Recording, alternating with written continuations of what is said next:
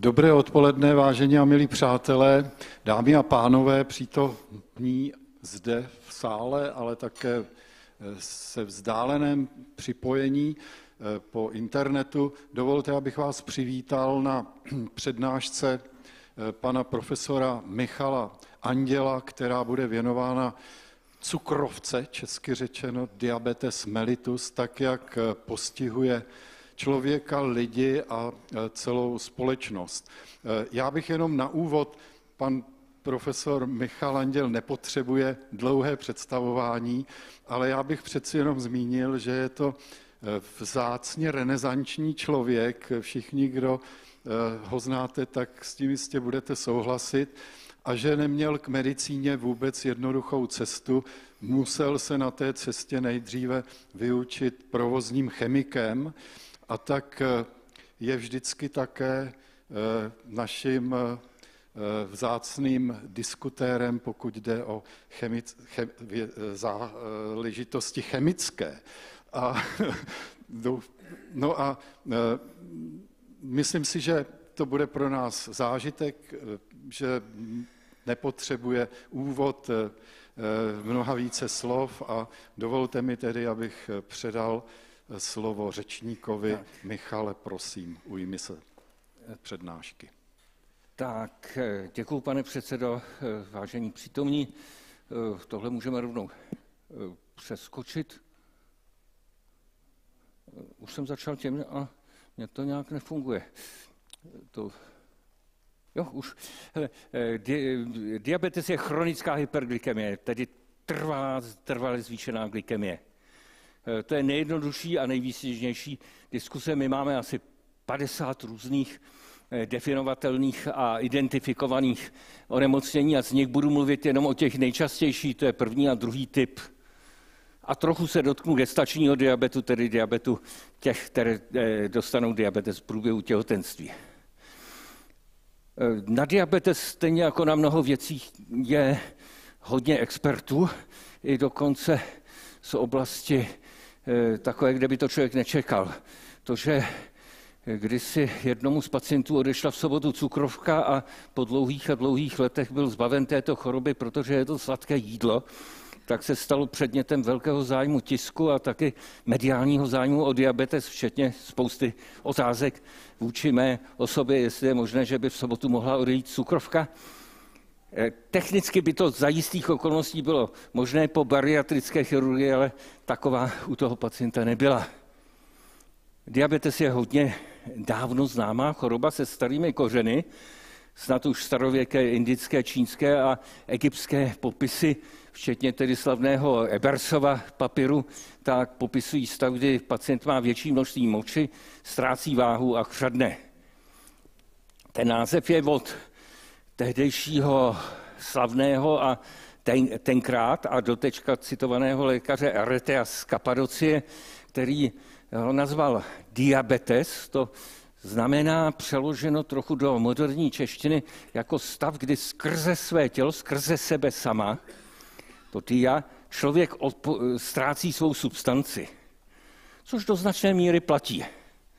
Klasik antické medicíny, tak jak se na něj díváme teďka, Celsus měl velmi přesný popis diabetu, když Eh, tenkrát eh, takovým klasikem nebyl, stal se klasikem, a když se, se dostali k jeho dílům později. A poměrně eh, v období středověku a temna v evropské medicíně a vědě, tak jak Peršan Avicena, tak Maimonides, hispano-židovský lékař z Kordovy, popsali tu chorobu docela přesně. Už v 15. století si všimli dva portugalští lékaři, že diabetes s vyšší váhou žijí déle než eh, nemocní hubení. My bychom to teď nazvali diabetem prvního typu, že byli ti hubení a ti druzí, že měli druhý typ diabetu. Eh, v roce 1674 Sir Thomas Willis, známý eh, v medicíně především tím, že Eh, popsal výborně neuroanatomické struktury, tak on byl taky praktický lékař a chutnal, vyšetřoval tehdejším způsobem, také chutnal moč. To bylo dneska ne, přijatelné pro mladé lékaře. A on popsal, že je moč u části lidí, kteří měli poliury, tedy větší množství moči, sladká. A přidal k tomu tedy mellitus neboli medový. Tedy diabetes mellitus je od té doby. S okolností Thomas Willis byl zakládající člen Royal Society. V roce 1682, dávno předtím, než skutečně došlo eh, k záměrné pankreatektomie, tak to byl praktický lékař a chirurg švýcarský, pracující také v Německu, tak provedl pankreatektomii u psa. Některé prameny říkají, že to bylo u psa, který ho pokousal vlk. A on mu vyndal pankrás a eh, on popsal poliurii u toho svého psa – a příznaky, které zřejmě odpovídaly eh, postpankreatiktomickému diabetu, ale on si toho nevšim. Je citován hodně v dějinách vědy, že neměl ten moment, aha, že mu to nedošlo, tenhle Brunner. A tím se hodně, hodně proslavil. Eh, v roce 1850 Claude Bernard, ti, kteří jsou fyziologové, tak přísahají na jeho jména jako zakladatele experimentální fyziologie provedl, ten provedl spoustu důležitých věcí, ale popsal u králíka glikosury, když e, píchnul na spodinu čtvrté komory mozkové. A od té doby považoval diabetes za onemocnění mozkového původu. A e, před rokem 1870 23-letý Paul Langerhans musel napsat jako každý e, student medicíny doktorskou práci, což v Německu platí do teďka, když chce někdo doktorát, eh, tak popsal, eh, popsal eh, ostrůvky, které nesouvisejí se žlázovým parenchymem. Vůbec netušil, o co jde. Ale popsal tam nějaké ostrůvky. Ostatně podle nich se jmenuje inzulín, tečka inzulín. Ale on se nakazil, on miloval svého učitele Verchova a zemřel na nemoc, kterou mají patologové, to je tuberkulóza. V roce 89 Minkovský a Mering, tedy 1889, provedli pankratektomii u psa. Ale ne proto, že by chtěli sledovat cukrovku. Oni věděli, že ze sliničky vytýkají e, trávicí šťávy a oni chtěli sledovat to vstřebávání. A jeden z, e, ze zákonů Kloda eh, Bernarda byl vyndej orgán a sleduj důsledky jeho eh, vyndání. A tak studoval vyndal ledviny a tedy rena, akutní renální insuficienci a játra akutní jaterní insuficienci. Oni chtěli něco, čemu bychom řekli trávicí insuficience nebo malabsorpční syndrom. Ale eh, tak to provedli, povedlo se jim to přesto, že jeden byl internista a druhý fyziolog. A druhý den, když přišel zřízenec do té místnosti, kde byl ten pes, tak okolo psa byla bílá skvrna. Pozor, tenkrát ještě teprve začínala bakterie, eh, bakteriologie a ten zřízenec se neštítil a naslenil prsta eh, a slíznul tu skvrnu a zjistil, že je sladká. A tím vznikla vlastně ta, ta teorie, že, nebo ta hypotéza, že, že eh, diabetes je spojen se slinivkou. Odskákali si to pěkně. Oba dva vyhodili z té univerzity. A tehdejší, eh, kdyby eh, jste se podívali na Flieger Archive z tehdejších let, tak spílali těm dvěma ignorantům, kteří uráželi tehdejší mrtvou ikonu fyziologie Klora Bernarda. Mladí to často nemají jednoduché. Rus Sobolev podvázal pankratický vývod psa v roce 1902, tedy netekly tam trávicí šťávy a nedošlo ale k diabetu. A tím prokázal, že se jedná o vnitřní sekreci známou už od asi 50. let 19. století. A pak byla snaha dostat ze slinivky tu účinnou látku. Nikdo netušil, že je to protein. Takže se vařilo eh, v kyselých a alkalických roztocích, úplně ne, bez úspěchu, i když těsně před světou válkou Van Norden už byl docela úspěšný. Rumun Paulesko eh, publikoval metodu extrakce, kdy podvázal ductus pancraticus, tedy ten vývod z pankratu, a ponechal, eh, ponechal pankras in situ a pak z něj extrahoval látku, která se ukázala u jiného psa po pankrate, k tomu je jakž tak účinná, ale netotáhnul to bohužel dál. A taky měl za sebou tu rumunskou infrastrukturu. A podobně postupovali Banting, ne příliš úspěšný ortoped, spolu s Herbertem Charlesem Bestem, což byl medic z druhého ročníku, nebo po druhém ročníku. Takže po podvazu došlo k atrofii eh, pankratu a po několika týdnech vyjmuli ten pankras, už tam nebyly ty enzymy a extrahovali posléze, eh, posléze látkou, která byla kyselý aceton a byli úspěšní. Byli úspěšní taky proto, že si k tomu přivzali chemika. Někdy jsou potřeba. A Díky tomu, eh, díky tomu byla postupně extrahována látka, která se ukázala, že je účinná u psů a nakonec i u člověka. Eh, tady je to trošku ještě zdůrazněno, že tam byla významná role eh, chemika Kolipa a 11. ledna 22 první pacient dostal takto zpracovaný, takto zpracovaný extrakt který byl posléze krystalizovaný a došlo k úplně prvnímu vyléčení smrtelné nemoci. Diabetes do té doby byl stoprocentně smrtelná nemoc, která z prvního typu, tedy, která zabíjela. A diabetes prvního typu se stal takovou nemocí, která neměla takový, eh, takový eh, kritický průběh a která byla před obrazem toho, co se děje v medicíně teďka. Že Eh, smrtelné nemoci se stávají chronickými. Je to drahé, mění to společnost a jsme plni nemocní chronickými nemocemi, zaplat pámu za to. Bantenka McCloud, co byl šéf fyziologického ústavu, který hodně přispěl radami a taky tím, že byl otevřený, i když pováhání toho nápadu. Představte si, že by za panem ředitelem Konvalinkou teďka přišel nějaký ortoped a řekl mu, že chce dvě nebo tři místnosti, 40 psů a jednoho medika nebo studenta přírodovědecké fakulty, tak opravněně s ním vyběhne, nebo za panem ředitelem Grubhoferem, že kdyby přišel někdo takový, tak řeknu náklady a povolení etické komise a zvířecí komise a tak dále. Nebylo by to možné.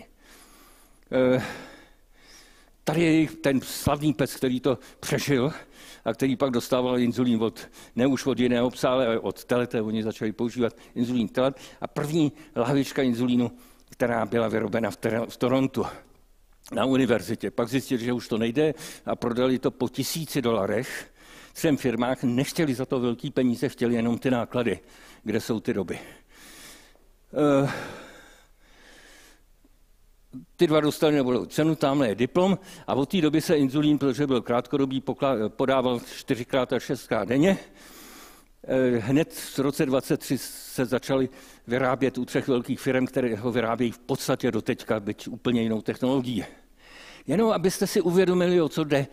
Vlevo je ten samý kluk jako vpravo. Ten mi brzy umřel, je kachetický, ztratil váhu, eh, byl určitě v ketóze a po dvou měsících léčby inzulínem má nadváhu. Podívejte se, co to udělalo.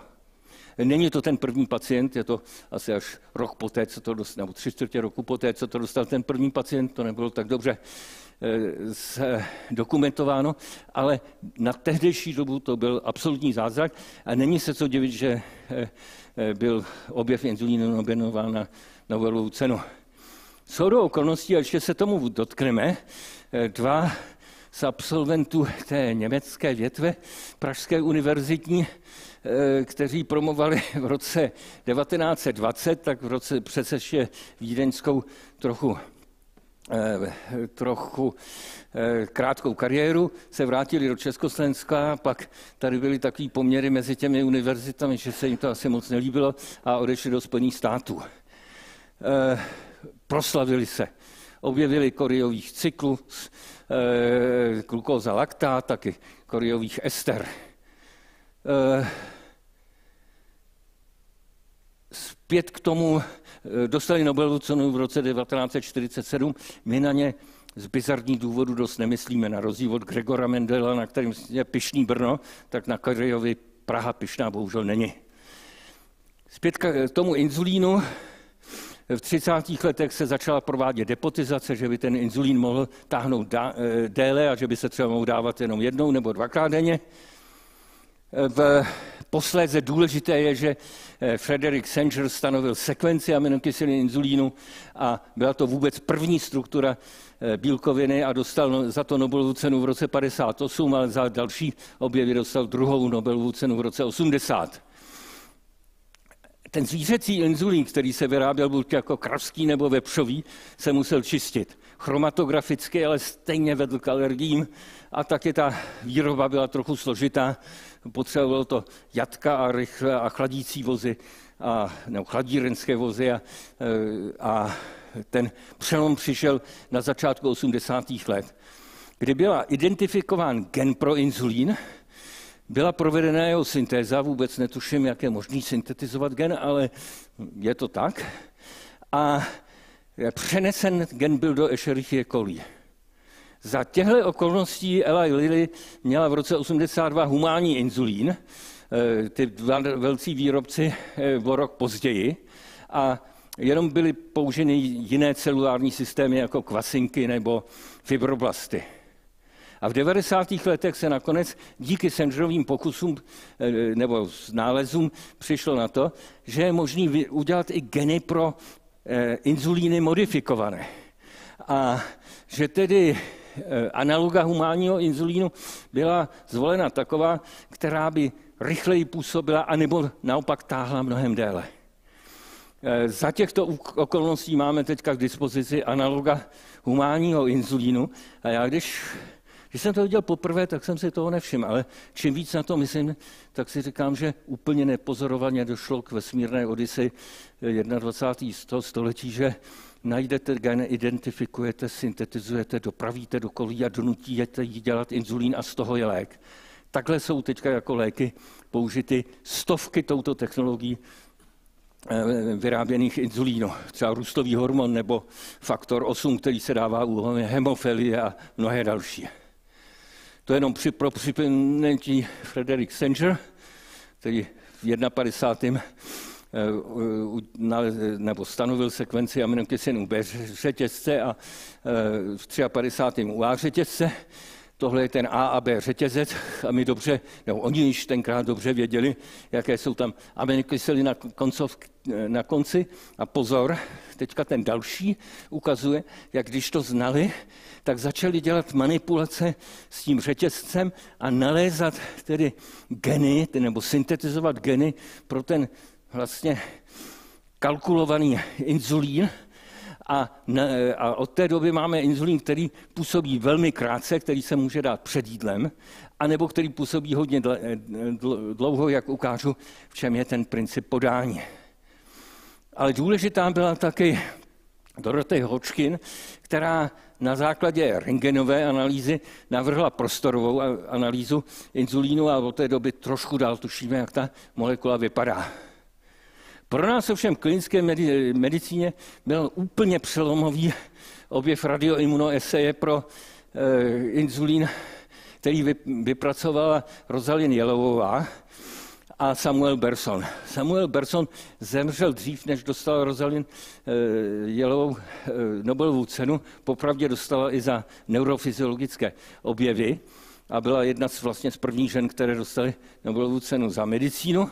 A zase oni odmítli patentovat tu radioimunoesej. Schválně to publikovali napřed. Teďka by je pronásledovali ty univerzity za to, že se dopustili něčeho, co znamená krádež. Představte si, že, eh, že eh, publikujete dřív než něco, co může přinést eh, miliardy, v tomhle případě dolarů stejně jako inzulín. Na základě všem toho, že jsme měli možnost stanovit vůbec první látku pomocí radioeminese jsme, nebo naši předchůdci, začali stanovovat ty hladiny za různých okolností. Vohladu, e, po zátěži, e, v různých situacích nemocných, ale přišlo se na to, že důležitá je ta základní bazální sekrece, ono je to tam trošku špatně vidět, ale ta sekrece, která, uj,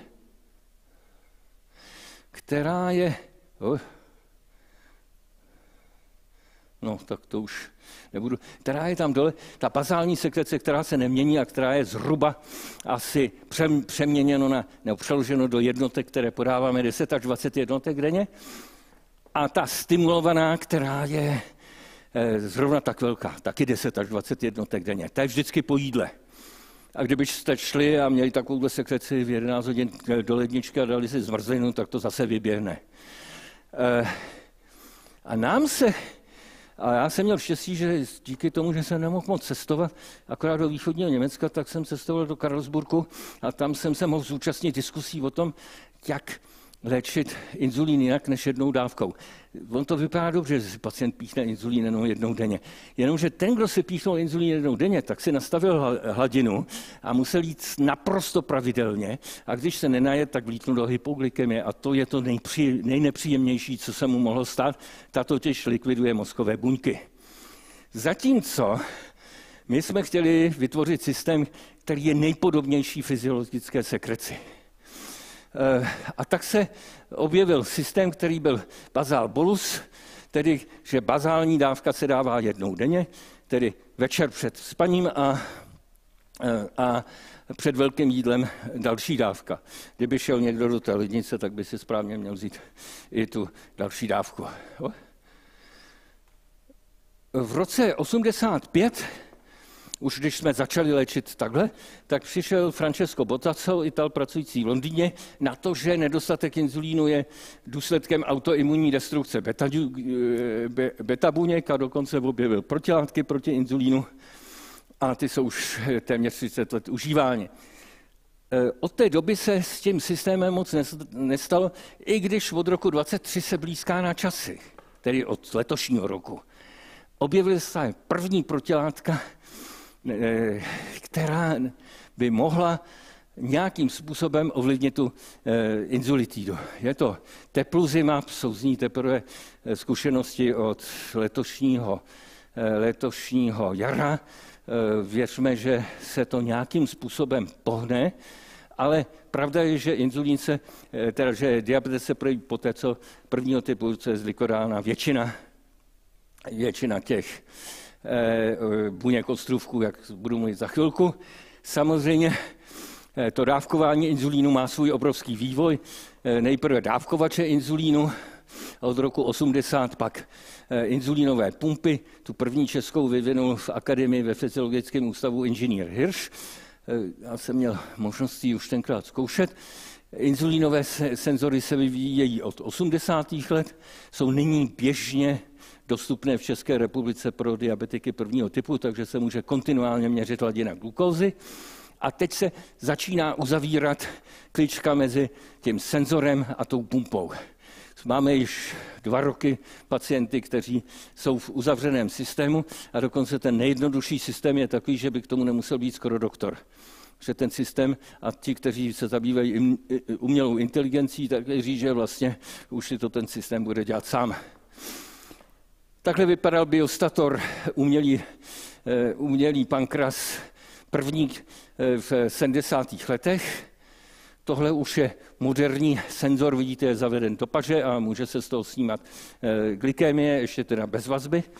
A to poslední bude, už vidíte, že je tam vazba mezi inzulínovou pumpou, kde je podáván inzulín přes do podkoží břicha a že, je propojena bezdrátově, bezdrátově se senzorem. Je to obrovský úspěch, připomíná to třeba implantovaný eh, kardioverter, je to úspěch technologie. Eh, nevypovídá to o tom, co se děje tedy v těch ostrůvkách, ale co se stalo a co se nejlépe pak nahradí. Tak, jaké máme teď centrální otázky diabetologie? Pro první typ diabetu, tedy by to byla časná detekce inzulitidají terapie, anebo dokonce, kdyby někdo přišel na konverzi eh, beta buňky na, eh, teda jako somatický buňky na, na eh, beta buňku. U druhého typu ochrana beta buněk a porozumění inzulínové rezistence a potom taky role produktu glukagonového genu v sekvenci inzulínu. A tady bude intermeco, který pak se ukáže, že má smysl. Eh, glukagon je dost dlouho známý, objevil se za dva roky po inzulínu Merlinem a Campbellem z roku 23 a taky už víme, že stejně jako inzulín se produkuje eh, jako prepro, eh, hormon proteinový a jako ostatní proteinové hormony. A vidíte, že v, té, v těch genech jsou geny, jsou sekvence pro glukagon, pro gel, gluko, glukagon-like peptid 1 a glukagon-like peptid 2 a z tohohle se pak odpíchla úplně jiná linie, o které za chviličku budu mluvit. Glukagon je eh, fyziologický protihráč, eh, protihráč eh, inzulínu, to už jsme věděli před 45 lety, ale nic jsme nevěděli o účincích GLP-1 a 2. Tohle můžeme přeskočit. Jenom to, že ty produkty toho genu se nacházejí nejen v pankratu, ale toho GLP-1 ve střevu a v mozku, což je velmi důležité, a, a e, to jak pro GLP-1, tak GLP-2. E, pak se začaly s e, různé tehdejšími metodami, už po válce začaly extrahovat různé produkty, které souvisely, souvisely s, glika, s glukagenem. Sutherland v roce 1948 našli něco, co nazývali glucagon-like glycogenolytic activity a a popsal jeho účinek. A tady jenom bych se dotknul toho, že Earl Sutherland eh, studoval medicínu v St. Louis a tam byl žákem Karla Koryho. Jenom tak, abych trochu ukázal, že někdy ty okruhy jsou hrozně zajímavý. A získal v 71. roce Nobelovu cenu hlavně za objev cyklického adenozín monofosfátu. Eh, je dobře známý, jakou sekvenci, jakou strukturu má glukagon. Jeho účinky jsou opačné eh, inzulínu, až na to, že zvyšuje sekreci inzulínu. Eh, tlumí motilitu žaludku, má pozitivní efekt na myokard a snižuje pocit hladu. Tomu se ještě dostaneme. Eh, když jsme uvažovali o glukagonu, tak jsme si řekli, nemůžeme uvažovat o samotném inzulínu nebo o samotném glukagonu. Víme, že vždycky jde o tom poměru. Když se najíte, tak máte molární poměr glukagonu 70 k 1. A když jste pět hodin po konci jídla, tak se ten poměr sníží na 30. Právě velikost toho poměru rozhoduje o tom, zda jsou aktivovány katabolické či anabolické dráhy a živiny jsou ukládány anebo ze zásob uvolňovány. Když eh, večeříte v 6 hodin, tak můžete počítat s tím, že od 10 budete eh, odbourávat své živiny. Když, se, když večeříte v 9, tak to můžete očekávat až od jední. Eh, tohle je jenom obrázek, který jsem viděl v posledním čísle diabetologie Evropského časopisu o tom, jak ukazuje, co se dělo s GLP-1 a jak se hromadily důkazy o tom, že analoga GLP-1 se hodí pro nejrůznější terapie. Ještě o tom bude řeč a ukazuje se, že právě GLP-1, glucagon-like peptid 1, respektive jeho analoga, ovlivňují činnost srdce, ovlivňují činnost ledvin, ovlivňují ukládání uh, ukládání tuku do jater, acylglycerolu do jater a mají také zřejmě neurotropní účinky s ohledem také snad na neurodegenerativní onemocnění. Tohle ukazuje trošku jinak, kam všude tenhle GLP-1 zasahuje. Je z té práce, kterou už jsem citoval, Jens Holst byl od začátku a nenechal se zvyklat různými e, články a odstavci v učebnicích fyziologie, která říkal, že glukagon je fyziologicky nezajímavý a nevýznamný. Oni zjistili, oni pátrali po těch dalších produktech a zjistili, že je to, e, že je to právě Eh, eh, hormon nebo inkretín, který zvyšuje sekreci inzulínu a že má spoustu dalších účinků, které jsou zajímavé a vesně pozitivní. Teď trošku o diabetu druhého typu. Tohle bylo intermezzo. My máme v Česku asi 850 tisíc a celkově asi milion diabetiků. A pak máme lidi, kteří mají něco jako prediabetes, kdy už nejsou ještě naplněny ty, ta kritéria, ale už jsou vyšší glykemie než normálně. Eh, základní riziko diabetu druhého typu je ateroskleroza, a komplikace, tedy také eh, ischemická choroba srdeční, včetně infarktu myokardu, a také to, že o 20% zvyšuje riziko některých nádorů. My jsme dlouho byli v zakletí toho, že eh, původní koncepce byla, že diabetes je fatálně spojen s inzulínovou rezistencí a to vrhlo na inzulínovou rezistenci ten nejhorší, nejhorší eh, efekt. Eh, oh, pardon. Eh, ten eh, metabolický syndrom se stal slavným až teprve Geraldem Reevenem, podle něj se to také jmenuje Reevenův syndrom, který popsal situaci, kdy je ten pacient obézní, kdy má vysoké triacylglyceroly v krvi, kdy má arteriální hypertenzi a prediabetes nebo diabetes a současně vysokou hladinu inzulínu a menší citlivost k němu. Proto se tomu také říkal metabolický syndrom nebo syndrom inzulínové rezistence. Ale zajímavé bylo, že ne všichni pacienti s inzulínovou rezistencí a obezitou dostanou diabetes. A bylo prokázáno, eh, bylo ale prokázáno, že u části obezních klesá hladina inzulínu a že po 30 letech dokonce, jak se k tomu ještě dostaneme, asi polovina všech lidí s diabetem druhého typu má inzulínu málo. A my tedy v moderní době víme, tedy v moderní době asi 15 let víme, že diabetes druhého typu je důsledkem jak inzulínové rezistence, tak snížení původně velmi vysoké hladiny inzulínu, která, byla při, která je u pacientů se, se syndromem inzulínové rezistence. Ten je vyšší než normální, ale menší, než byl předtím. A to je zřejmě klíč k tomu, abychom porozuměli v té hrubé úrovni věci. Eh, ty ostrůvky, které produkují inzulín, tak jsou jak v hlavě, tak v těle, kde je jich nejvíc, tak v ocasu pankrátu mají své eh, beta buňky, které produkují eh, inzulín, alfa buňky, které produkují glukagon a ještě PP buňky, které produkují pankratický polypeptid a ještě delta buňky, které tam nebudu už zacházet. Je jich 800 tisíc až 15 eh, milion 500 tisíc průměru. Někteří říkají, že je snad až 15 milionů, ale ve je to tenhle údaj průměr je milion. Celkově váží 1 až 2 gramy.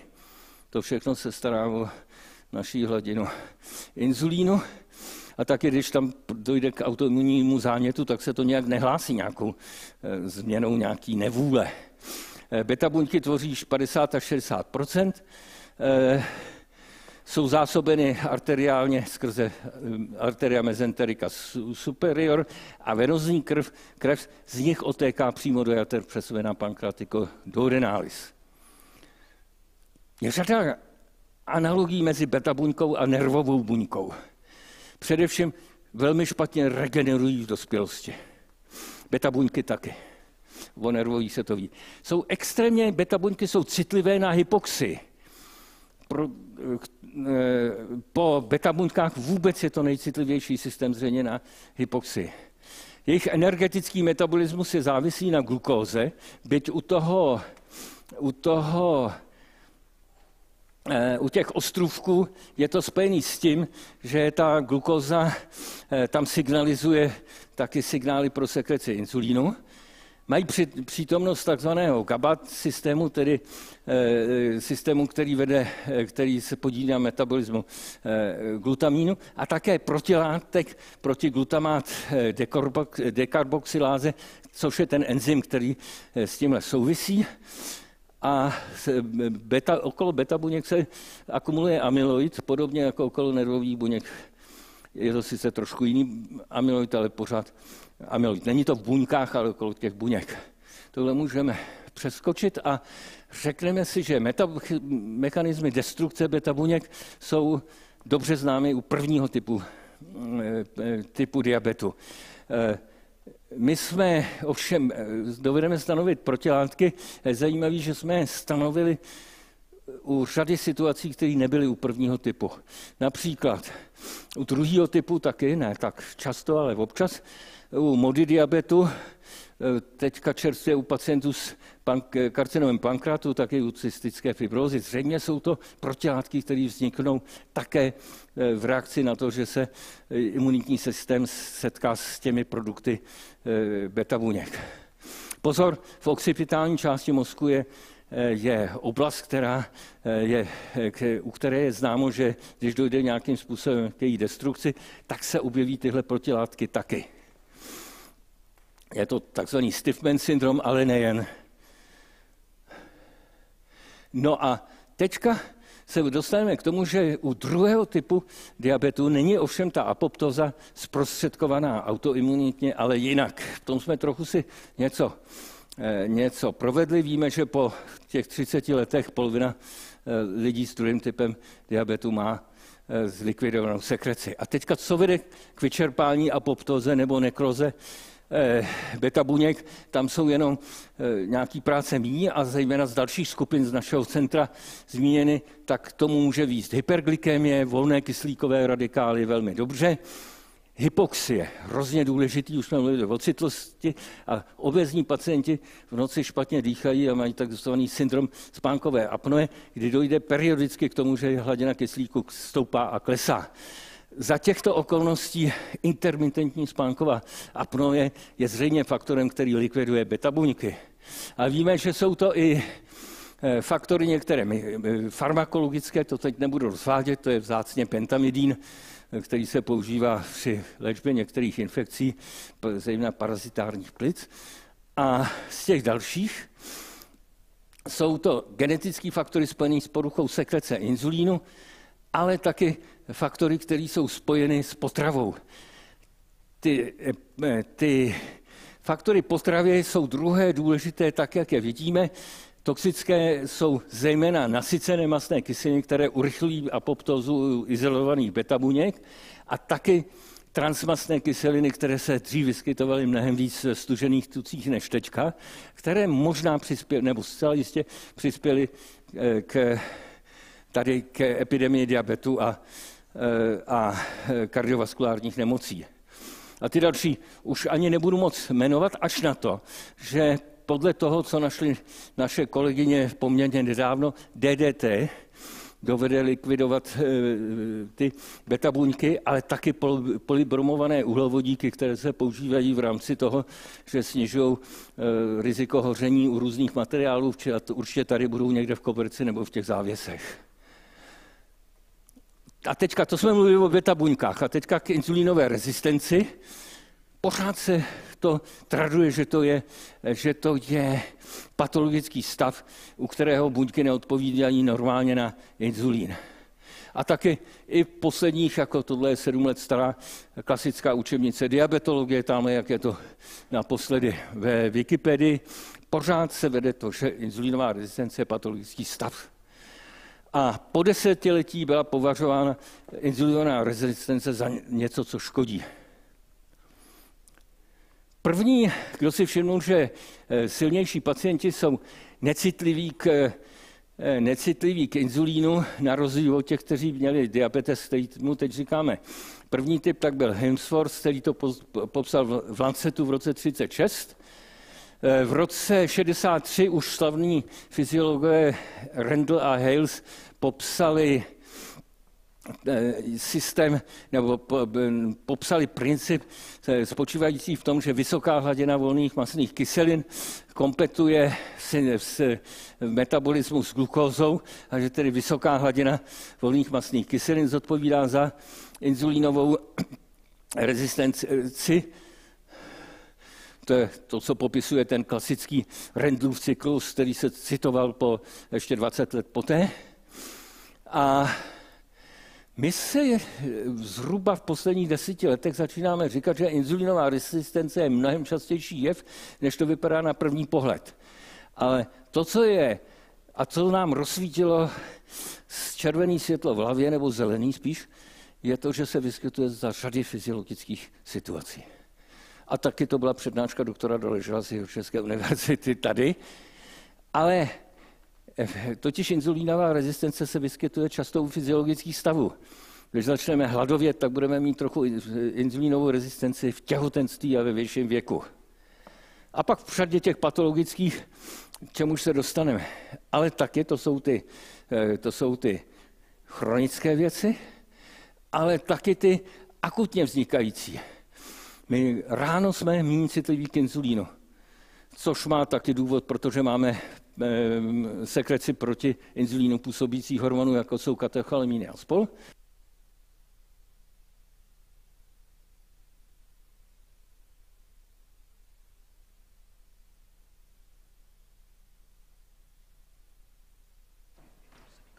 On to není slyšet, jo? To jsou eh, TNF alfa, což je nejvýznamnější faktor. Taky ty volné masné kyseliny proti inzulinu působící hormony, jako jsou katabolické hormony. U národů se vyskytuje zřejmě bez spojení s TNF alfa. A k té drozofile se za chviličku dostaneme. A my si nyní myslíme, že inzulínová rezistence je filogeneticky neobyčejně starý nástroj. Myslíme si to právě kvůli kolegům Tomášovi Doležalovi a spol a mnoha dalším, kteří zhruba ve stejné době začali dělat pokusy, které byly původně u mouchy. Člověk si řekne, jak může moucha inzulínovou rezistenci, proboha. To jsem si říkal, když jsem sem šel na tu přednášku, a, ta, jaký má svaly. No ona samozřejmě, že má svaly. A že má trochu jiný mechanismus té rezistence a ty imunicity jiný, než máme. A oni měli takový systém, kdy, eh, kdy eh, vosička s poetickým jménem z téměř jako z italského filmu Leptopilína infikovala vajíčky, eh, vajíčky tu vosičku a 50% těch vosiček po infekci zemřelo. Oni už dobře znali, že ta rezistence je spojená s aktivací extracelulárního adenozínu a Eh, adenozín působí jako protiinzulínový hormon, oni si mysleli, že to vypnou a podařilo se jim nokautovat ty, eh, ty eh, drozofily tak, že, ho, že měli bez toho adenozínového mechanismu. A pozor, pak na ty knokautované nerezistentní vosičky pustili ty leptoplíny a oni si mysleli, že ty vosičky bezvadně přežijou. A pak se sešel den s večerem a všechny ty vosičky umřely, tedy zahynuly. A ukázalo se něco, že inzulínová rezistence, když se odstranila, takže to bylo horší, než když tam byla, aspoň pro polovinu těch vosiček.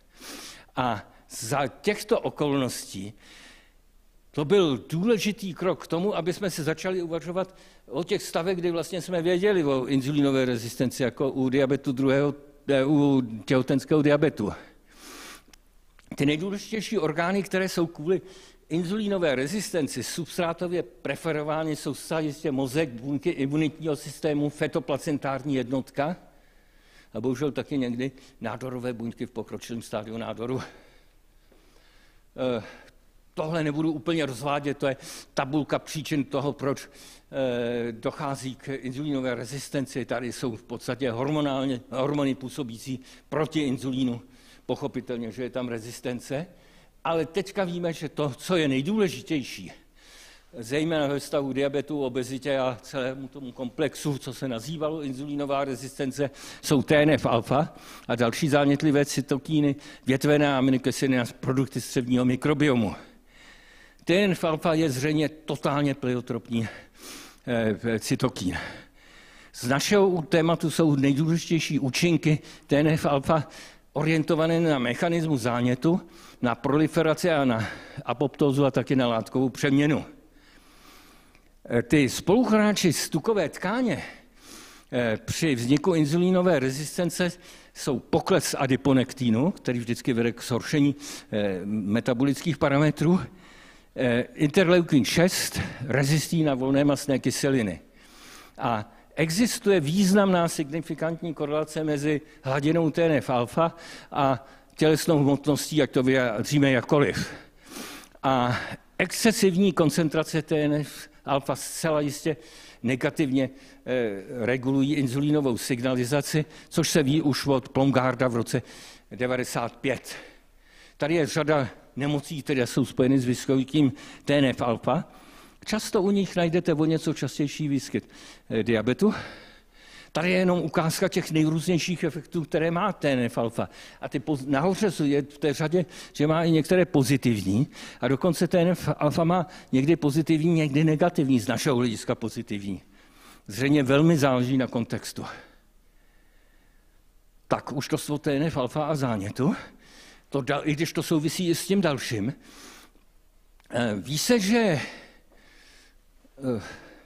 tohle věnuji Helence, ale e, trochu se před ní obávám o tom mluvit. Střevní mikrobiom v poslední době je citován zleva zprava, ale víme, že významným produktem střevního mikrobiomu dovedou být větvené aminokyseliny, k tomu se ještě dostaneme za chvilku, a ty větvené aminokyseliny se významně podílejí na inzulinové rezistenci, byť na druhé straně vedou proteosyntéze, takže používají například mnozí, e, kteří si chtějí budovat sval. Existuje mezi středním mikrobiomem a vztahem ke gastrointestinálnímu traktu existuje celá řada vztahů. Například existuje crosstalk mezi mikrobiomem a žlučovými kyselinami, což je v podstatě mechanismus střebávání tuků. Takhle vypadá i mikrobiota, eh, který jsou, eh, který jsou z běžného mikrobiomu z velké studie, která vedla, eh, která Eh, to jsou metabolity tedy toho mikrobiomu a vidíte, že je tam celá řada látek, které bychom nechtěli moc mít, jako třeba kresol nebo, nebo indol a indol acetát. V zásadě ten mikrobiom dovede zřejmě produkovat látky, které jsou dost nepříjemné z hlediska celkového metabolismu, i když na druhé straně eh, v pozitivním aspektu některé látky, které eh, působí pozitivně, zřejmě hodně záleží na tom, co jíme, což nám ukáže něco dalšího. To je už eh, z naší skupiny naše doktorantka Magdalena Procházková, která zjistila, že když se dívá na to, jak to mají vegani a jak to mají omnivorové, tedy které my máme velkou pro kontrolní studie, velkou skupinu veganů, tak právě zjistila, že ty větvené aminokyseliny jsou typickým produktem eh, té smíšené diety a zejména spojený s konzumem masa, zatímco ty eh, aminokyseliny, které jsou třeba krátké masné kyseliny, a některé další látky, jako, jako eh, citrán nebo eh, glicín, glutamin a treony, tak jsou spíš produktem eh, veganské diety, mikrobioty při veganské dietě. Tohle je jenom ukázka toho, jak vypadá velmi podrobná dietní intervence, což není žádná legrace, mít třeba půl roku lidi na takovýhle intervenci a udržet to při, eh, tak, aby byly výsledky velké. To byla odbočka tedy k mikrobiomu, produktech mik- jisté části mikrobiomu v závislosti na dietě a, eh, a inzulínové rezistenci ve stavu zejména k větveným aminokyselám. Eh, zánět, imunita a energetický mechanismus souvisí ještě také s oxidativním stresem, o kterém moc nebudu mluvit, a o něčem, co nazýváme taky low grade nebo mírný zánět. Eh, ty mechanismy zahrnují jak TNF alfa nebo interferon gamma, eh, interleukiny 1 beta, stimulaci NF kappa B, jsme o tom napsali přehledový článek už v roce 2009, jiný velký přehledový článek je od Kína. Ten článek náš byl napsán česky a má asi 25 citací ve velmi kvalitních časopisech, nevím, jak se jim to zdařilo, ale nějaký překladač asi.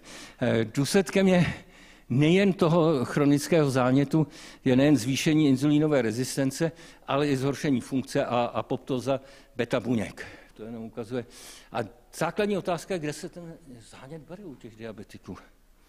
V současné době se má za to, že základem je, eh, je infiltrace tukové tkáně, a to makrofágy, což je dobře známo tady z téhle skupiny eh, už od roku 2008 s kterou ty naši, kteří se zabývají tukem, spolupracují.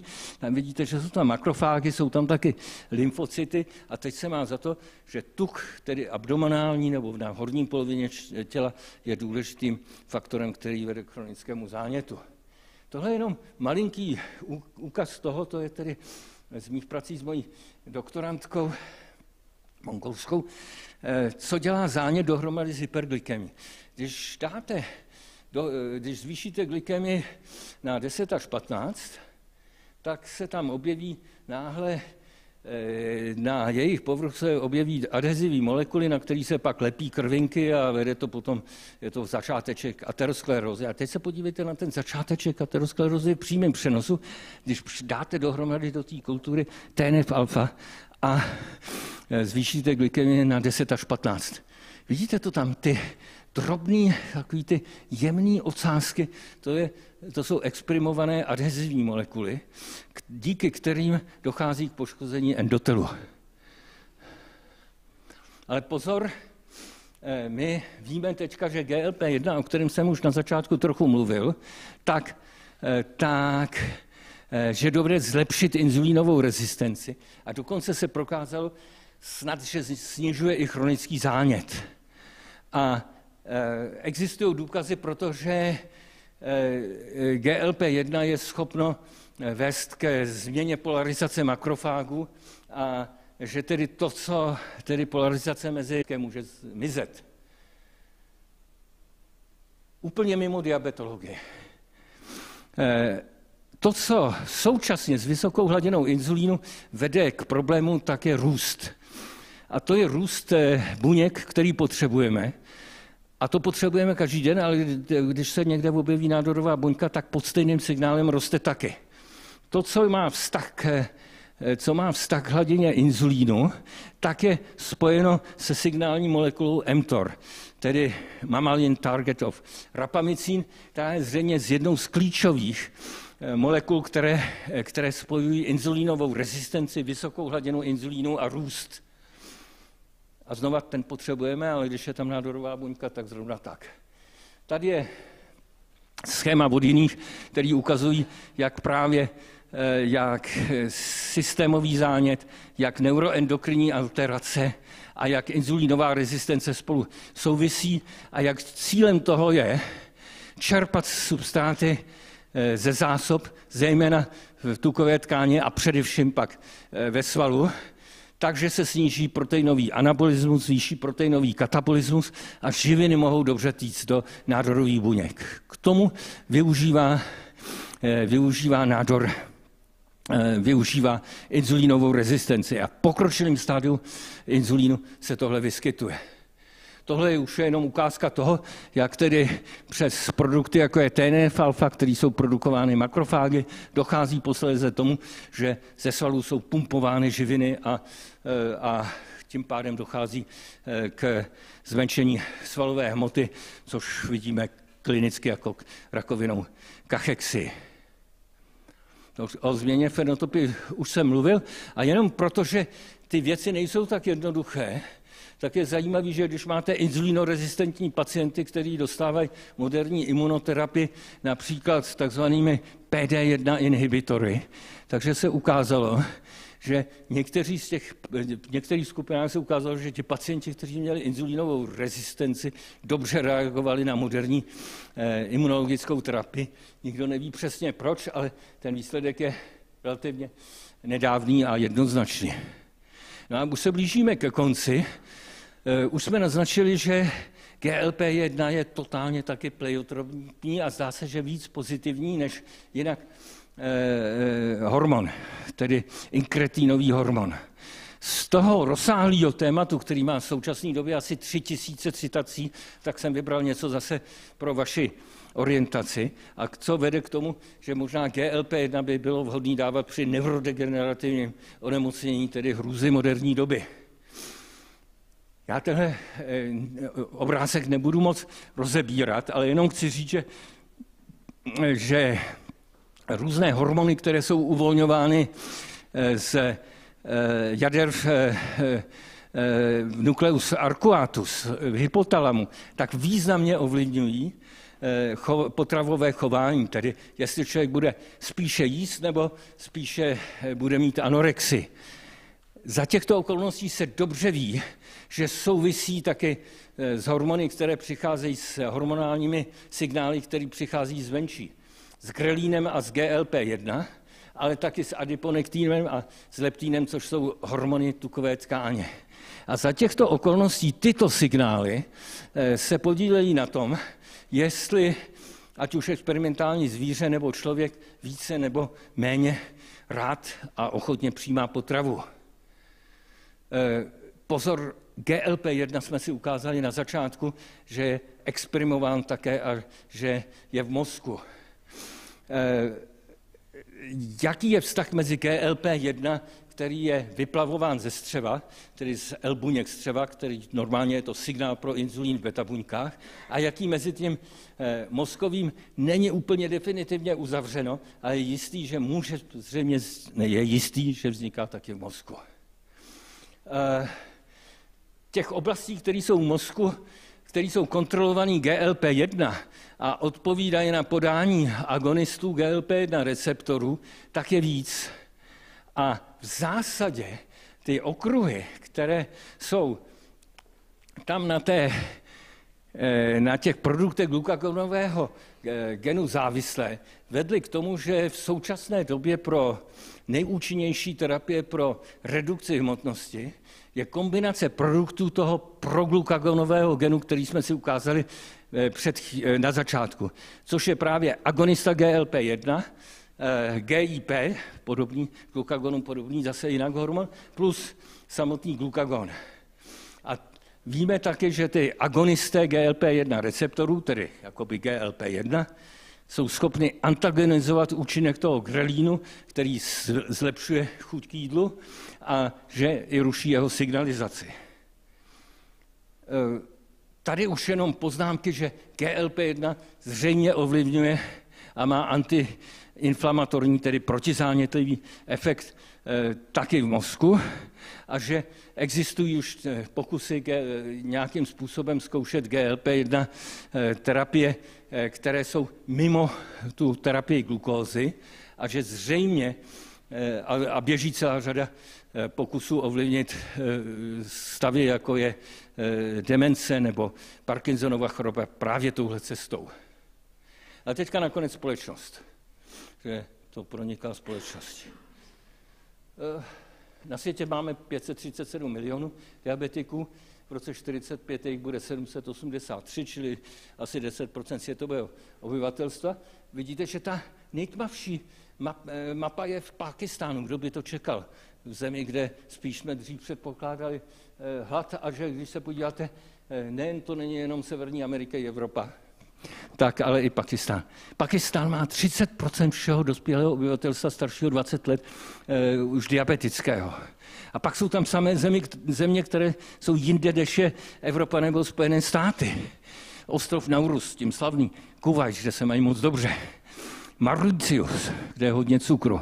Egypt, se tom, skoro 80 miliony obyvatel, tak vidíte, že má 20%, 20 nebo 18%, 18 milionů obyvatel v Egyptě má diabetes. A na americký samoze samoj 20%. U nás vidíte, že to stoupá a že vlastně v roce 19 všech diabetiků jsme měli, eh, všech diabetiků jsme měli přes milion už, z toho 800 eh, tisíc skoro s diabetem druhého typu, teď už máme 850 tisíc. Když hrozně zajímavé je, když se podíváte, kolik je diabetiků v Praze, tak je to pět a, eh, je to pět a půl eh, tisíce na 100 tisíc. A když se podíváte, když se podíváte, jak je to třeba v Karlovarském, Ústeckém nebo Moravském, Moravskoslezském kraji, tak je to přes 8 tisíc. Je to o polovinu více. A zřejmě je to vliv vzdělání, kultury, možná znečištění. Řekli jsme si, že některé faktory znečištění jsou toxické pro beta buňky a že zřejmě taky možná i jiné socioekonomické eh, faktory. Tak tohle je česká realita, kterou máme všichni rádi. Jde o to jenom, jak často. Podívejte se, jak stoupla spotřeba cukru v Americe. Eh, ty údaje nalevo jsou, jsou v librách, takže teďka je asi 100 liber, 100 liber za rok. Byla víc, byla skoro 120 liber, teďka je asi 100 liber, co je, což je pořád asi 50 kg za rok. Eh, u nás ta spotřeba cukru je eh, okolo 35, byla skoro 40 eh, před asi 10 lety kilogramů za rok. V roce 1815 nebo 1820 v Rakousku, eh, kam jsme patřili, tak byla 1,5 kg. Vzrostla, prosím, 25krát. 25krát jíme víc sacharozy než v roce 1800.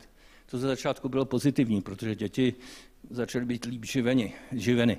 A k tomu jedli brambory a to ještě k tomu přispívalo, ale je to jako zná jinými faktory.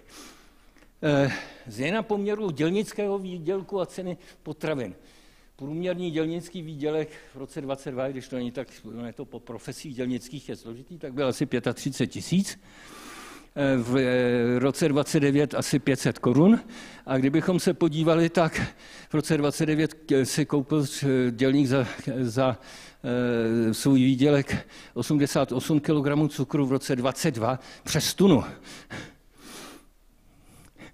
kde on to si nekoupí samozřejmě, ale ty si koupil. Křiky o tom, že je cukr drahý. Že? A, e, zrovna tak se to týká vepřového masa zdroje nasycených mastných kyselin.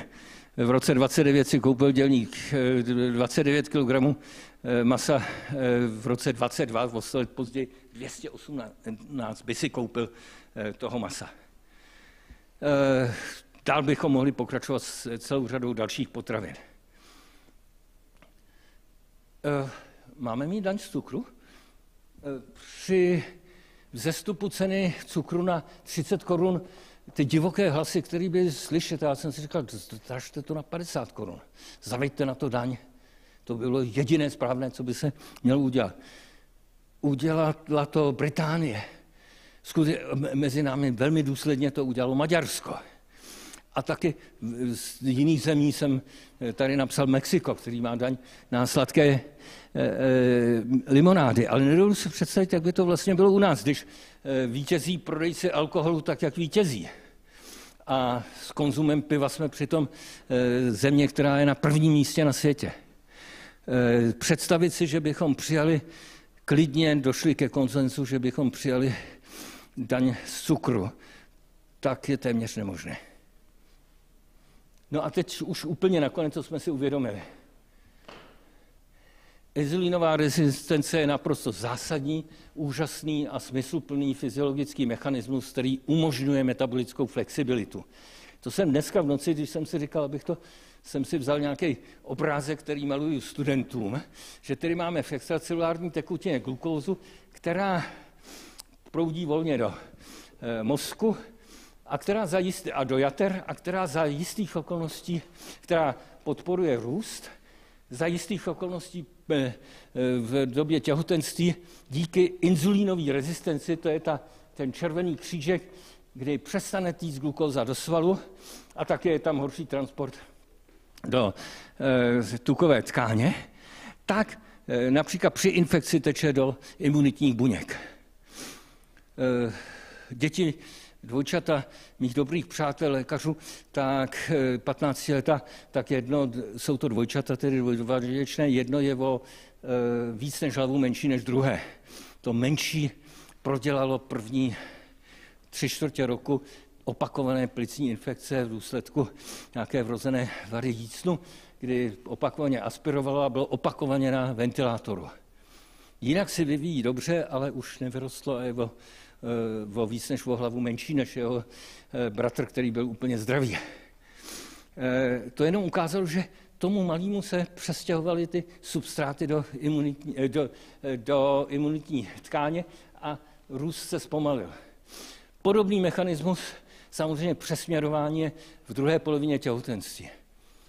Proto, aby rostl plod, potřebujeme spoustu energetických substrátů a díky tomu, že se objeví inzulínová rezistence, která je běžná a TNF-alfa je běžně zvýšen v druhé polovině těhotenství, pro část těhotných to znamená, že dostanou eh, těhotenský diabetes, ale to je asi 10%, tak se je přesměrování glukózy tam, kde je potřeba.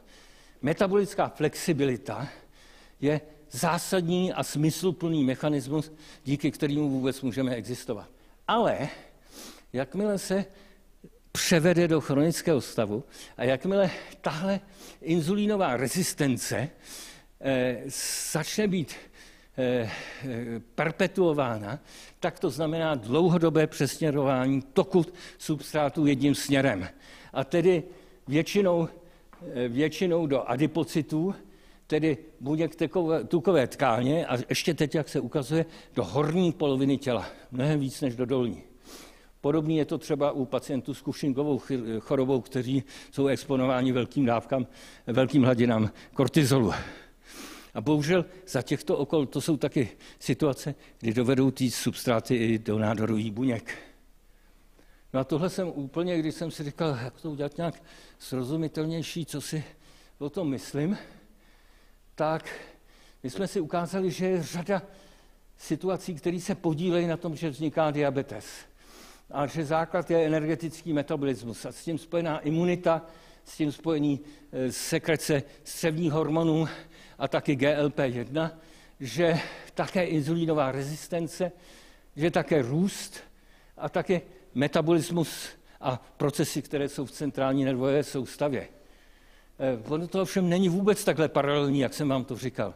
To je do sebe takhle zapletený, což je ta červená čára, jak se takhle zapletají ty faktory, ale ono to ani není takhle. Je to jako kdybyste zmuchlali rybářskou síť. My tu síť dovedeme vyndat a kousek narovnat a vidíme tam dvě oka vedle sebe a spojnici mezi nima a někdy nám uh, ukáže důležitý princip, na základě kterého dovedeme rozumět lékům, které podáváme a zlepšovat osud nemocných a nevím, jestli je vůbec někdy možný tu síť úplně rozmotat.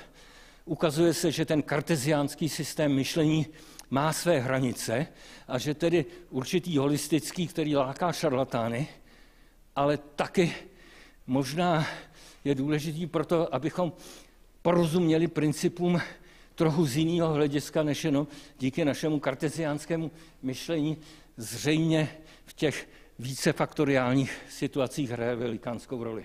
A samozřejmě jsme si ukázali taky, že ty GLP-1 produkty jsou z nich důležité léky a taky některé další léky jako, eh, jako inhibitory transportoru glukózy přes eh, některé buňky, což jsou ty eh, transportéry spojené s transportem sodíku, které jsou na kdejaké epitelové buňce, které s chodou okolností také zvyšují hladinu glukagonu, tak představují eh, systém, který je ochranný pro, eh, zejména pro srdce a pro ledviny, čemu už se doufám teďka moc nedivíte. My v mém oboru si myslíme, že vlastně ten diabetes je jenom vrcholkem nějakých zpráv, že je tam vysoká glykemie, ale že je to totálně systémová situace, kde ta inzulínová rezistence na jednu stranu jde tímhle směrem, ale na druhé straně zasahuje směrem, která se klinicky jeví jako nádorové onemocnění, jindy jako neurodegenerativní onemocnění, samozřejmě nejčastěji jako diabetes. Ale ty věci stejně se nedají úplně odpárat a to už je všechno. To jsou ti, kteří se podíleli taky na tom, že jsem tady s vámi o tom mohl mluvit a vám moc děkuji za pozornost.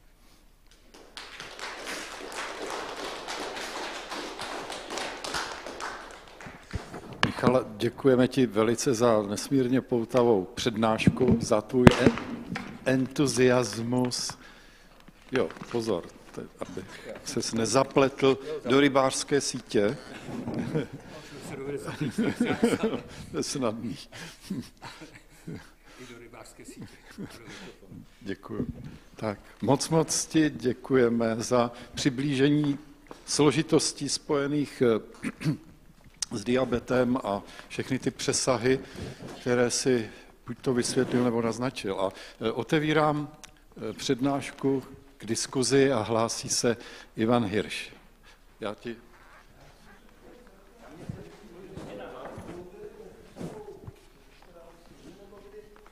Jak je, aha, pardon. Chtěl jsem se zeptat na věc, kterou jsme nakousli někdy před 14 dny, jak je to s virovými onemocněními. Samozřejmě u covidu a diabetu tam je nějaký, eh, nějaké jasné spojení, ale eh, jak je to hlouběji na imunologické úrovni a potom, jak je to vůbec ne s virovými onemocněními, ale s infekčními onemocněními. Protože ty jsi tam jmenoval eh, ty nádorové onemocnění a kancer, a, ale tohle to tam nebylo. Nám teďka ku poděžu v těch Nature Scientific Reports vyšla práce na téma, na téma poškození beta buněk po po covidu nebo po očkování proti covidu. Zase neměli tolik lidí, abychom to mohli jasně e, diferencovat. A po covidu nebo po očkování proti covidu se skutečně objevuje víc diabetu. A my jsme si mysleli jednoznačně, že je, to bude diabetes prvního typu a že se tam spustila nějaká autoimunita, jak se teďka taky říká. Ale zatím jsme to nenašli. My jsme našli horší sekreci inzulínu z beta buněk. Jsme rádi, že nám to vzali do hodně kvalitního časopisu, za to může ten Honza Gojda, který to celý e, zorganizoval, e, který je tam jmenovaný, ale v zásadě nemáme na to ještě uzavřenou od, odpověď. Ale zcela jistě, to, co nakousne tu autoimunitu, tak se zdá, že je to na začátku virus, tedy u, u běžných eh, diabetiků prvního typu, že nějaký, třeba původně se myslel, že kokseký, potom spálničky, chřipka a mnohý další, že nejdřív nakousnou tu buňku, z té se vyplaví nějaký antigeny a proti nim se udělají protilátky a z nich se pak derivují protilátky hmm. proti vlastním strukturám, tedy vlastním beta buňkám. Tak, ale o, o tom covidu zatím to úplně jasný není, my jsme protilátky tedy nenašli. Tak, děkuji za odpověď a další dotaz bude od eh, Jiřího Janaty. Dám ti mikrofon, nebo... Mhm. Funguje, funguje. Um, pane doktore, děkuji za přednášku. já jsem před 40 lety odgraduoval doktoranta, který pracoval na elektrochemickém senzoru na glukózu. Jako dobrá práce a platila to NASA a já jsem do konečné zprávy napsal, že se domnívám, že uzavřená smyčka, pumpa, senzor nebude nikdy realizovaná. A já si tedy i bez ohledu na vaši vynikající přednášku dovolím tenhle ten výrok opakovat. Ale jestliže mě přesvědčíte, já jsem ochoten před svědky ho tady odvolat. Bueno, eh, tedy, když mě to, já jsem se shodou okolností, já jsem nesměl nikdy moc cestovat, protože jsem měl tátu ve Švýcarsku, ale dělal jsem doktora českým tenistkám a jednou si Helena Suková vzpomněla, že už jsem jí dával různých eh, rad hodně, že s nima pojedu do Ameriky a dostal jsem se na, eh, do Massachusetts, kde byl tenisový turnaj a tam je Jocelyn Davidis Clinic. A tam jsem potkal nějakého neobyčejně obezního muže, Johna Stuarta Seldnera, možná, že znáte jeho jméno, a John Stuart Seldner na eh, Jocelyn, který patří k Harvardské univerzitě, a tenkrát to byl Vatikán diabetologie, tak začal s prvním, eh, tedy tam na té, eh, začal s prvním senzorem, tam. A ukazoval mi ho. A trvalo pak jako spoustu let, než se ten senzor vyvinul do situace, kdy teďka je použitelný a my je běžně používáme, jsou od třech firm a podobně. Trochu je to problém, že se ta se glukóza snímá někde pod koží paře a že to není zrovna tedy pankratu, což by bylo přesnější. A ještě větší problém je, že inzulín, jakkoliv dáváme už, jakkoliv to odpovídáte sekreci, tak ho dáváme do e, podkoží který, kterým se střebává a je distribuován ve velkém krevním oběhu. To je samozřejmě něco jiného, než když vám teče inzulín přes vena pancreatico duodenalis eh, do jater, kde se u, zdrav, u lidí, kteří nejsou diabetičtí, spotřebuje 50% všeho, nebo 40% všeho inzulínu. Z tohle hlediska bych s váma souvis, souhlasil, jenomže a taky s těmi původními pumpami jsem viděl tolik různých nepříjemností až tragických, že jsem byl hodně na pozoru. No a teďka eh, v poslední době ale ty firmy, které třeba firma Dexcom má, eh, má pumpu, nebo je spojená s pumpou, která má takovou detekci a která studuje algoritmus poklesu glukózy, tedy když máte třeba 5,2, tak to neznamená, že máte 5,2, když jste předtím měl 5,7 a pak máte 5,2 a pak máte ještě 5,1, že je to takhle placatý. Ale když to rychle klesá třeba z 8 na 5, tak ona prostě ten signál dovede z toho senzoru, je tak zpracován, že dovede tu pumpu zastavit. Je to něco jiného, než když by se dával inzulín třeba do eh, peritonální dutiny. Ale já ztrácím svůj kritický vztah k těm pumpám, protože někteří si myslí, že tohle by pomalu mohl použít i ne úplně vzdělaný doktor v diabetologii, ale i praktický lékař nebo kdo, prostě tam dát pumpu, která je řízená umělou inteligencí. Víc vám k tomu nedovedu asi říct. Tady nejde o pumpu. Pumpy fungují. Ale jestliže ten senzor vám dá vysokou, negat, vysokou pozitivní falešnou zprávu, tak e, automatická intervence inzulínem je v podstatě vražda. A já neznám senzor, a udělal jsem jich hodně, který by prostě ne, fungoval naprosto perfektně. A pravděpodobnost, i když je malá, že vám to dá false positiv, je pořád ještě realistická. A jestli, se, jestli je to, tak prostě... Já tu poznámku. Prosím. Já tohle říkám, eh, když si to bylo ty pumpy někdy v 80. letech tady, tak to bylo dramatický. Já jsem zkoušel sice první, ale pak jsem moc k tomu důvěru neměl. Ale byli takový, kteří tom pokračovali a e, považují mě za, spousta lidí mě považuje za konzervativního starého pána. Já mám několik pacientů na pumpách, ještě žádného na té uzavřené smyčce, ale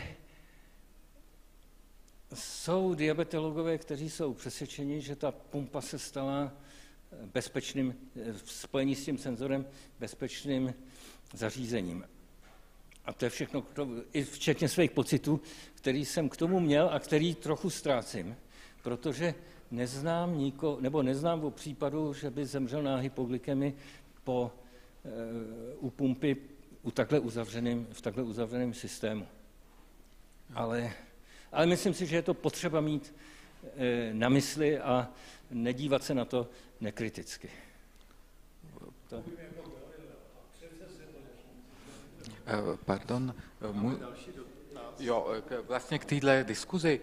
Já mám kolegu, který je vlastně na, v takovém celosvětovém systému právě těch, má v těle pumpu, Eh, ten eh, vlastně, do, nebo já doufám, já, o tom, já jsem v tomhle, nejsem, eh, vlastně jsem ignorant, v tom nejsem jsem matematik, on je teda taky matematik a, nebo dělá informatiku teoretickou v celosvětovém systému, vlastně má ten, v těle má teda ten nějak mu dávkuje ten inzulín a ten je připojený na prostě ten na centrum a ten to prostě přes internet a ten tam je, prostě už je velký ten network a ten systém se učí pomocí strojového učení právě jako jak to dávkovat a tak je s tím velice spokojený,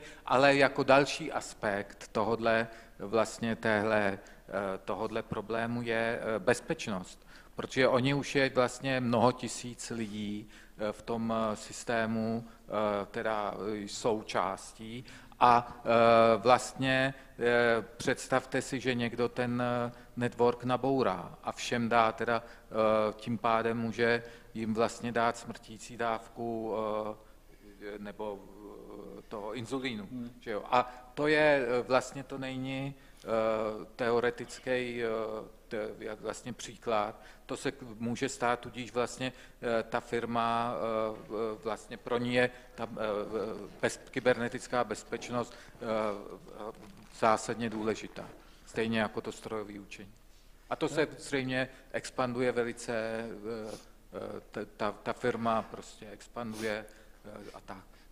Martin, je jistý, že ta pumpa je, na to jsou takový systémy rovněc, že jim asi nerozumí žádný lékař který popisují snad nějaký kontrolní okruhy a podobně a učí se z toho klesání těch a stoupání těch glykemí a zřejmě v nejbližší době to, čemu se říká umělá inteligence, tady do toho bude zapojena tak, že to skutečně asi doktor jenom přicvakne a spustí. A ta věc se bude učit. A samozřejmě, že máme situaci. Já vím, že i senzor, mám pacienta, který pozná, že senzor ukazuje špatně a protože má papírky, tak se přeměří a, a, a, a teď je jenom otázka, jestli to pozná je schopný poznat ta pumpa, že se tam děje něco špatného, že teda ten senzor signalizuje falešně, ale na to vám nedovedu odpovědět. No už je to zřejmě mnoho tisíc lidí, jsou v tom systému. Takže vlastně jako už ten, ten prostě od toho kolegy vím, že je už ten, ten systém, eh, ta síť eh, vlastně lidí, který, pacientů na, napojení na tenhle globální systém, je už celka, je obrovská, mnoha tisícová. Takže eh, vlastně asi o tom budou statistické údaje, jestli, vlastně, jestli pro někoho z nich to byl, mělo špatný, vlastně špatné důsledky.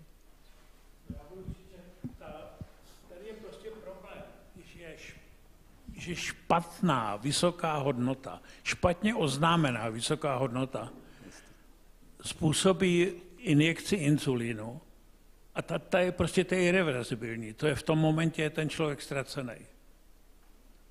Čili jaká, jakákoliv chyba v tomto systému má katastrofální důsledky.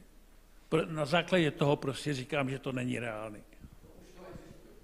Ale v současné době v Česku je na pumpách víc než 50% diabetiků prvního typu, ale ne, ne s tou zpětnou vazbou, ne s tou uzavřenou kličkou. Hm.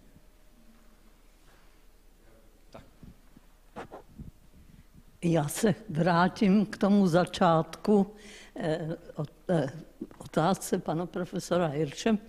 A sice eh, ví se, že v posledních dekádách ohromně stoupá incidence vůbec chronických nepřenosných chorob a pátrá se po příčině. Zatímco u diabetu prvního typu eh, se skutečně hodně eh, důkazů soustředuje na účast infekčních podnětů, třeba enterovirů a podobně, a vykládá se to molekulární mimikry podobou třeba, tak u diabetu druhého typu tam to takto není. A teď samozřejmě, podobně jako u jiných chorob, se říká, že je to především důsledek toho industriálního vývoje, urbanizace, změna životního stylu, což je i jasně prokázáno. Tak já jsem se chtěla zeptat, jestli u toho diabetu jsou nějaké zvláštní eh, ukazatele, samozřejmě třeba strava, eh, nedostatek vlákniny v naší stravě a podobně, jestli se toto potvrzuje i u toho diabetu druhého typu. No, teda i u toho prvního typu.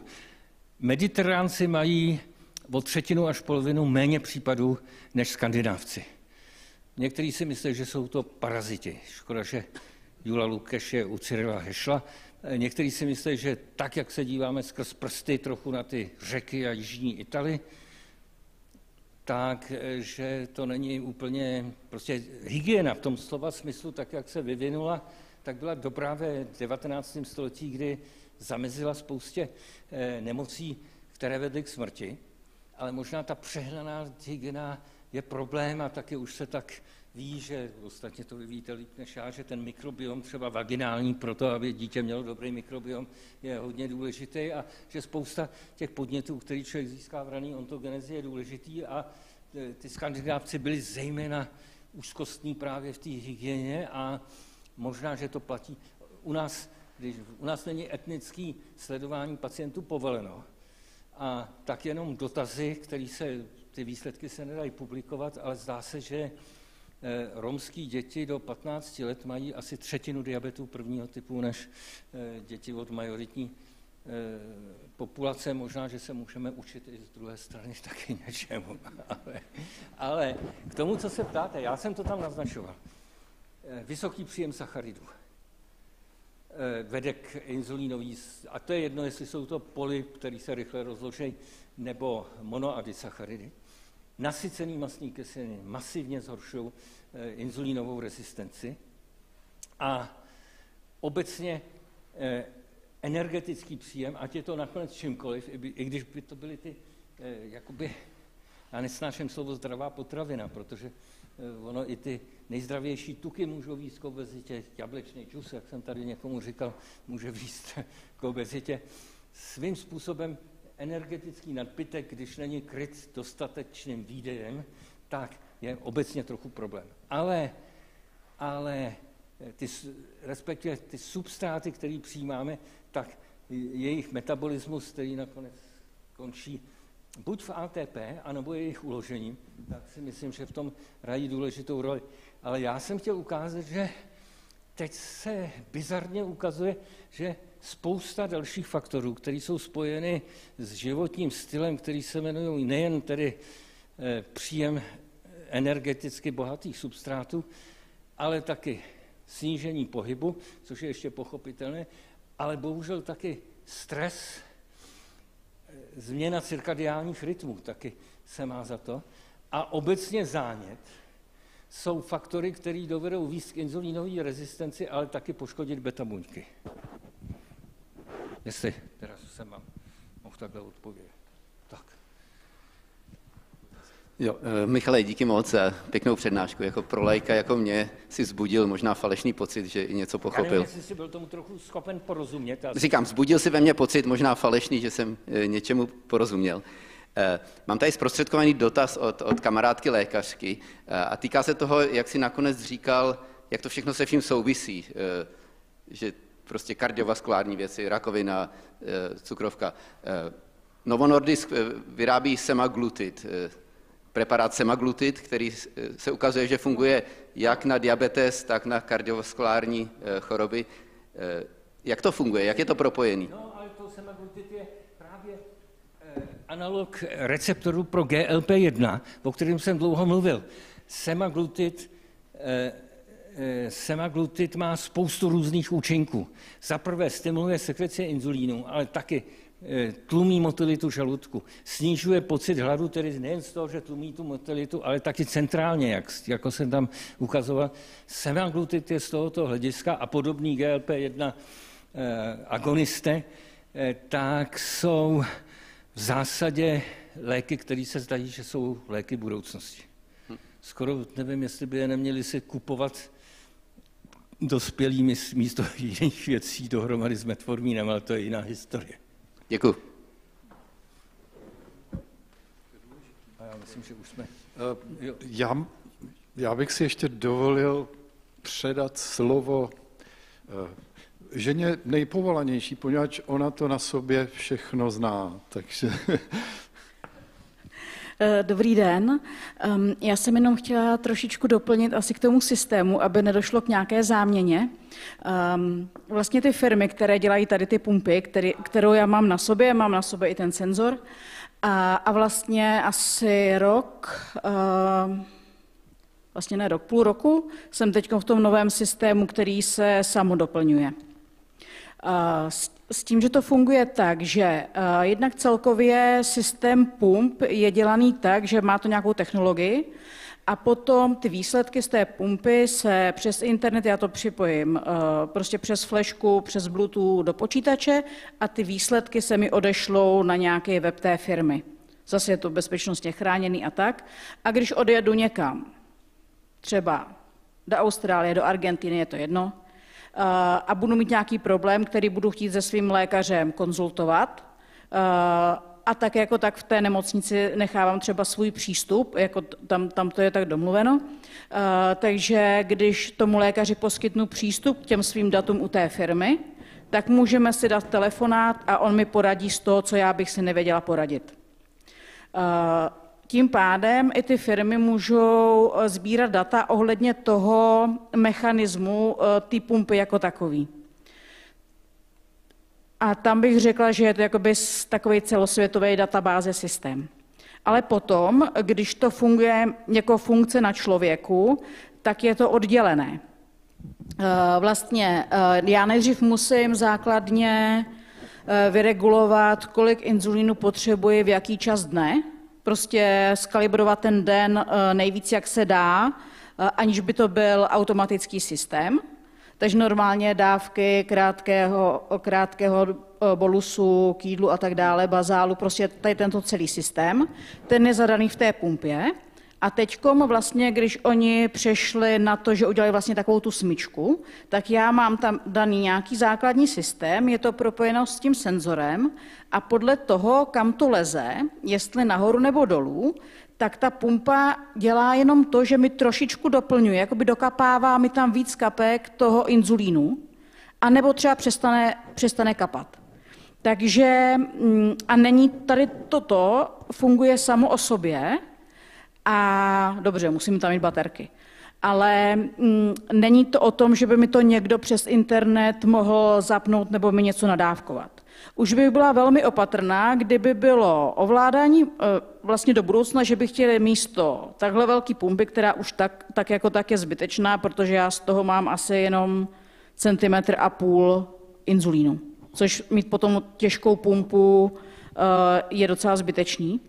E, takže když oni by udělali vlastně jenom ten mechanický píst a mm, vlastně nějaký Eh, technický mm, nebo elektronický systém, aby to šlo třeba přes mobil nebo přes nějaký ovladač, já bych si to brala jenom přes ten ovladač, aby mi někdo nemohl nabourat mobil a přes ten mobil už by mi mohl někdo něco nadávkovat.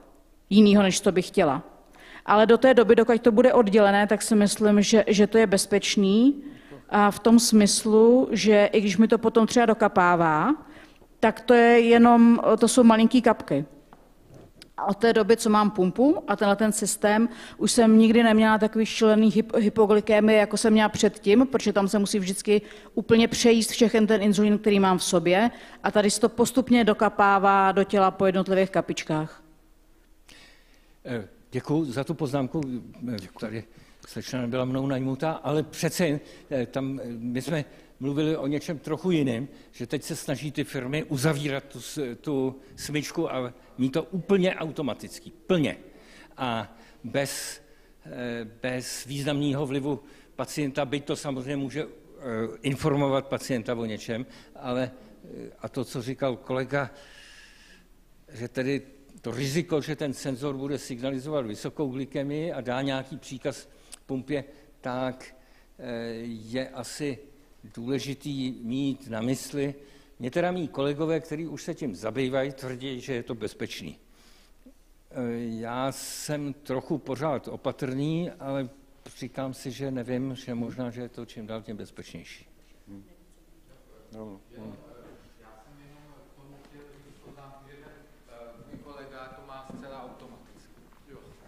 ten nic, ten kolega má prostě ten, tu smyčku, která, jestli jsem to správně pochopil, zcela uzavřenou, všechno je to mechanické. Má, no. Dobře. Tak eh, čas se... Je to nesmírně zajímavá diskuze, děkuji moc za všechny otázky a pokračující diskusy a myslím si, že ta by mohla ještě pokračovat také zde v předpokoji eh, a eh, ve vedlejší místnosti jestli souhlasíte. A já bych vám tímto poděkoval za dnešní účast při, na přednášce profesora Michala Anděla. E, myslím, že jak jeho přednáška, tak diskuze si zasluhuje velký potlesk.